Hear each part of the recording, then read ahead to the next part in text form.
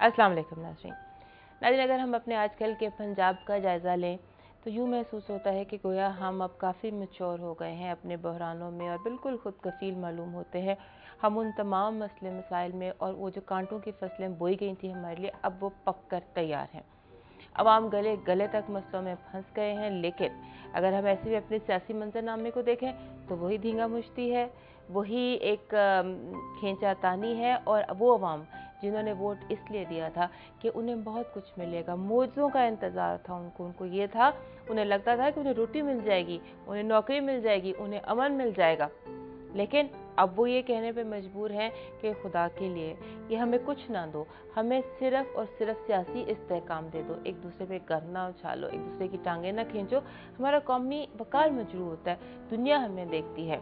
یہ سب کچھ ہمارے ساتھ آخر ہو کیا رہا ہے؟ اس پنجاب کی سیاست، اس پنجاب کی معیشت، اور اس کے علاوہ بھی بہت ساری باتیں آج ہم اپنے مہمان سے پوچھنے کی کوشش کریں گے اور جاننے اور سمجھنے کی کوشش کریں گے اپنی سچویشن کو۔ سب سے پہلے تعارف کرواتی ہوں اپنے مہمان کا۔ میرے ساتھ ہیں جناب تنویر اشرف قائرہ صاحب۔ آپ صوبائی وزیر ہیں برائے خزانہ اور اس کے علاوہ ایک اور پورٹ فولیو بھی ہے آپ کے پاس پلاننگ اینڈ ڈیولپمنٹ کا۔ ویلکم ٹو آپ پروگرام قائرہ صاحب۔ Thank you very much program کا باقاعدہ آغاز کرتے ہیں آپ ہی کی ذات آپ ہی کی سیاست سے۔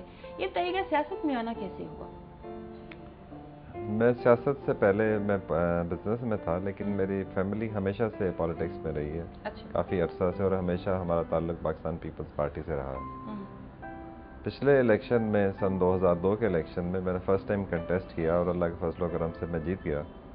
لیکن میرا آنا ایسے ہوا کہ بزنس میں میں تھا میری باقی فیملی ساری پالیٹکس میں تھی۔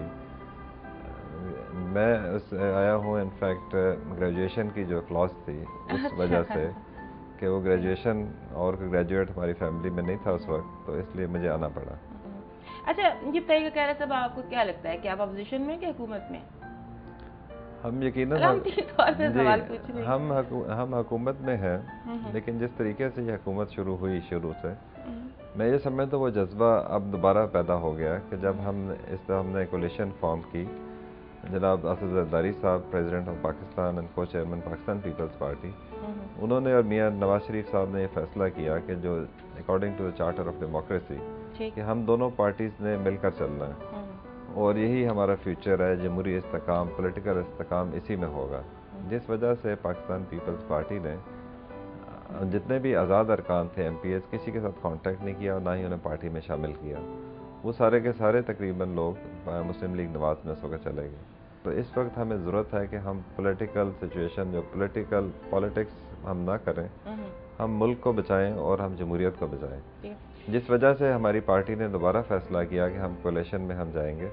پنجاب میں اور ہماری کوشش ہے کہ فیڈرل گورنمنٹ میں بھی مسلم لیگ نواز جو ہے وہ کولیشن میں آ جائے۔ لیکن قائرہ صاحب جس طرح سے کہ بھی آپ نے بات کی ہے کہ وہی حالات دوبارہ بن گئے ہیں وہی حالات دوبارہ بن گئے آپ کو لگتا ہے کہ اس وقت جو ہمارا پولیٹیکل سٹیبلٹی پنجاب میں آ گئی ہے؟ کیونکہ لاہور کے اگر ہم سیاسی حالات دیکھیں تو امپریشن یہ ہے کہ یہاں پر وہ پولیٹیکل سٹیبلٹی نہیں نظر آتی۔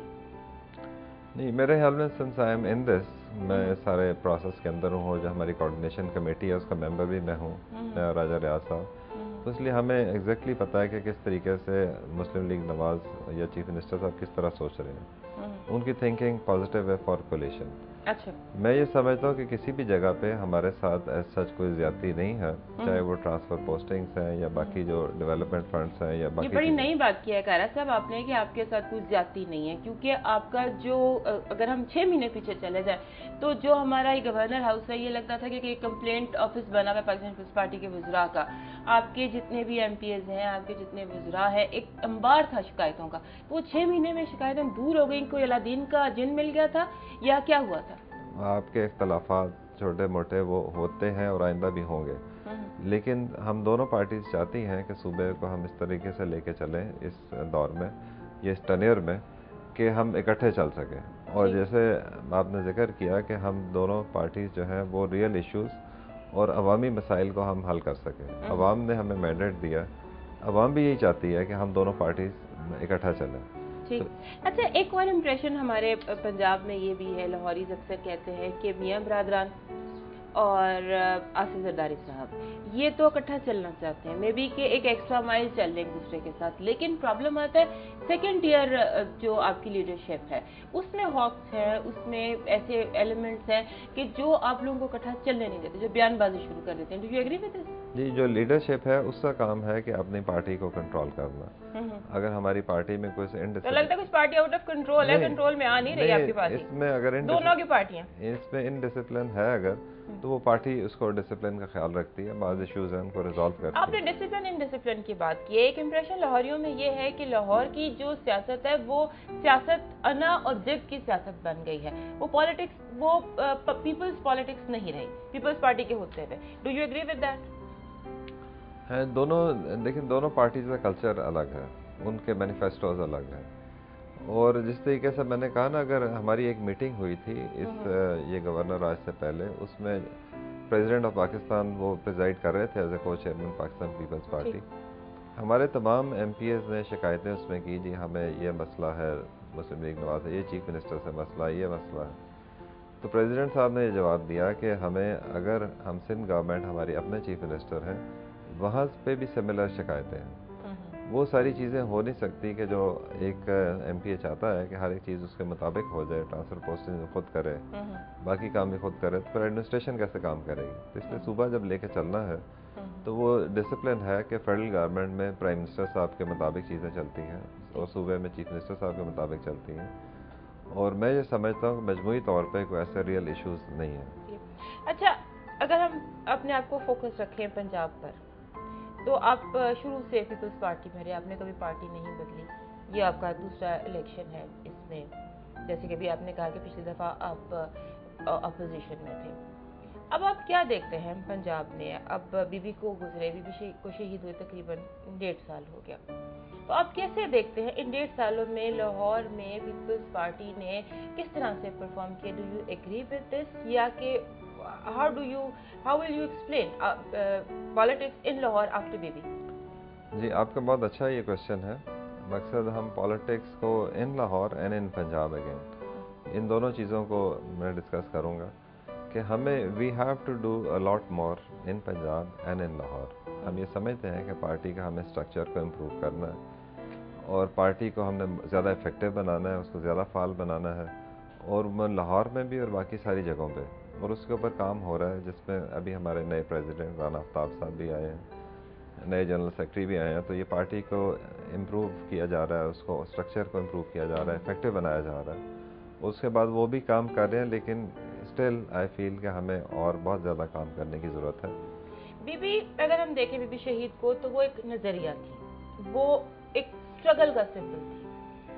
اور ان کے جانے کے بعد اگر ہم ابھی یہیں پہ فوکس کریں لاہور میں اگر ہم دیکھیں تو لگتا نہیں کہ ان کے جو اصول تھے یا ان کے جو نظریات تھے اس پہ پیپلز پارٹی چل پا رہی ہے، کیونکہ یہ ان کے نظریات نہیں تھے۔ کہ اس طرح سے ایک، جیسے کہ اگر ہم دیکھیں کہ دلیلیں جو ہیں وہ جوتوں سے اس وقت دی جا رہی ہیں، باتیں تھپڑوں سے کی جا رہی ہیں اور جو کچہریاں ہیں وہ سڑکوں پہ لگ رہی ہیں، یہ پیپلز پارٹی کا ساسا نہیں تھا۔ یہ نہیں ہے، لیکن اس سے تھوڑی سی پچھلی بات کرتے ہوئے کہ پارٹی میں ایک فرق ہے، پیپلز پارٹی میں اور مسلم لیگ نواز میں، کہ مسلم لیگ نواز کی جو قیادت ہے دے آر لاہور بیسڈ ان کا بیس لاہور ہے اور اس وجہ سے ان کو جو اسٹرینتھ ہے، وہ لاہور میں اس وجہ سے ہے۔ ہماری پارٹی جو ہے، وہ اس میں فیڈرل بیسڈ uh, ہے زیادہ یہ تمام صوبوں میں بھی ہے۔ اور اس طریقے سے ناراض کر دیں گے نون کو یہ بات کر کے؟ جی صوبائی پارٹی ہیں آپ صوبائی پارٹی میں نہیں کہہ رہا لیکن ہمیں بیسکلی جو ہماری پارٹی کا تعلق وہ سندھ سے ہے جو ان کا تعلق وہاں سے سندھ سے ہے لاہور سے ڈائریکٹ نہیں ہے۔ اور یہ لاہور سے نہیں ہے پنجاب سے نہیں۔ اگر صاحب اگر ہم دیکھیں تو جو جنم ہوا تھا پیپلز پارٹی کا بھٹو صاحب نے لاہور میں پیپلز پارٹی کو بنایا تھا اس کا جنم یہیں پر ہوا تھا لاہور میں۔ اور اس کے بعد اگر ہم دیکھیں نائنٹین سیونٹی سیون اس کے بعد ابھی تک آپ کو کوئی وزیر اعلیٰ نہیں ہوا۔ اور اب تو لگتا ہے کہ جو پیپلز پارٹی کی جد و جہد کا اثاثہ ہے، وہ بھی پیپلز پارٹی کے ہاتھوں سے نکلتا چلا جا رہا ہے۔ نہیں، اگر آپ دیکھیں تو پاکستان پیپلز پارٹی جو ہے، اس کو ہمیشہ سے جتنے بھی عامر ہیں، انہوں نے سب سے زیادہ ان کو سپریس کرنے کی کوشش کی، دبانے کی کوشش کی۔ سارے کا سارا جتنا بھی وہ پریشر تھا وہ ہمیشہ پیپل ابھی امپریشن ٹھیک ہو رہا ہے یہ یہی میں بات کر رہی ہوں کہ اب وہ امپریشن جو ہے وہ ٹھیک ہوتا چلا جا رہا ہے۔ جی، جن کے آپ اگینسٹ تھے ان کے اب اپروو ہوتے چلے جا رہے ہیں۔ نہیں یہ تو تب پتہ چلے گا کہ جب اگین اللہ نہ کرے کہ دوبارہ اگر اس قسم کی قوت جو ہے وہ آتی ہے کبھی۔ جیسے انہوں نے آٹھ دس سال پہلے گزارے اس سے پہلے دس سال گزارے۔ اور ان سارے ضیاء الحق صاحب کے دور میں اور اس کے بعد پریزم شرف کے دور میں۔ تو ان کا سارے کا سارا انہوں نے کوشش کی پاکستان پیپلز پارٹی کو توڑنے کی، اس کو موڑنے کی، اس کو مولڈ کرنے کی، پریس کرنے کی، ہر قسم کی انہوں نے اس کو جیلوں میں ڈالا، انہیں زیتیں دی، ٹارچر کیا۔ لیکن اس کے باوجود پاکستان پیپلز پارٹی جو ہے، وہ زندہ ہے۔ آپ نے یہ دیکھا۔ پیپلز پارٹی زندہ ہے عوام کی وجہ سے، عوام کے دلوں میں رہنے کی وجہ سے۔ لیکن ڈو یو تھنک کہ آپ عوام کے ساتھ کے معیار پہ پورے اتر رہے ہیں؟ عوام ابھی بھی دل سے اسی طرح پیپلز پارٹی کی حمایت کر رہی ہے؟ پیپلز پارٹی ڈیلیور کر رہی ہے، اگر آپ فیڈرل گورنمنٹ کو دیکھیں تو فیڈرل گورنمنٹ کی جتنی بھی پالیسیز ابھی آئی ہیں پچھلے ایک سال میں، اس کے ریزلٹس آئیں گے اگلے ایک دو سال میں۔ جب وہ ریزلٹس آپ دیکھیں گے کہ فرض کریں اگر ہم نے بے نظیر جو فوڈ سپورٹ پروگرام ہم نے شروع کیا، اس کے علاوہ ریہیبلیٹیشن کا پروگرام ہم شروع کر رہے ہیں، اس کا ایگریکلچر کا ان کو کارڈز ہم دے رہے ہیں۔ تو یہ سارے کا سارا پروسیس جو ہے وہ گراس روٹ لیول کے اوپر وہ فوکسڈ ہے۔ ان کو ان کو ہم سپورٹ کرنے کے لیے لیکن جب اس کے پالیسیز کے ریزلٹ ہماری جو کارکردگی آئے گی وہ آئے گی دو سال کے بعد۔ جی۔ ہم نے ملک کو اس وقت اسٹیبلائز کیا اکنامیکلی اسی طریقے سے پولیٹیکلی اگر آپ دیکھیں اکنامکلی اسٹیبلائز کر دیا صاحب۔ ہاں جی ہم نے ابھی وہ جو پچھلی حکومت ہے نا وہ کہہ رہے ہیں کہ آپ لوگوں نے جو کچھ انہوں نے کیا تھا اس کو مٹی میں بہا دیا اس کو پانی میں بہا دیا برباد کر دیا اپنے اکانومی کو۔ ابھی سلمان شاہ صاحب کے سے میں نے انٹرویو کیا انہوں نے کہا کہ ہم نے تو پتہ نہیں کیا کیا کچھ کیا تھا ہم تو چائنا کی طرح گرو کر رہے تھے۔ ان لوگوں نے آ کے جو ہے بالکل ہی فارغ کر دیا اکانومی کو۔ دراصل جو وہ بات کر رہے ہیں نا بات ہے گروتھ آف اکانومی کی۔ گروتھ جو ہے ہم نے انٹرنیشنل گروتھ کے تناظر میں اس کو دیکھنا ہے۔ جو انٹرنیشنل گروتھ ہے وہ اکانومیز کی وہ بہت کم رہی ہے۔ جو بھی ان کے ٹارگیٹس ہے اگر ہم دوسری کنٹریز سے اگر ہماری آج ٹو پرسینٹ یا تھری پرسینٹ گروتھ ہے، باقی کنٹریز کی it is less than one percent اس تناظر میں اگر ہم دیکھیں گے تو وی آر ڈوئنگ ویل یعنی لفظوں کا گورکھ دھندا اداد کا گورکھ دھندا جو مطلب کڑوی گولی اچھا لوگ کہتے ہیں ٹھیک ہے ٹھیک ہے ٹھیک ہے بڑی صحیح بات ہوگی۔ جب گھر کو جاتے ہیں تو روٹی بھی نہیں ہوتی بجلی بھی نہیں ہوتا پانی بھی نہیں ہوتا۔ میں آپ سے سمپل ایک اور امپریشن کی بات کرنا چاہتی ہوں کہ آپ نے ابھی اکانومی کی بات کی۔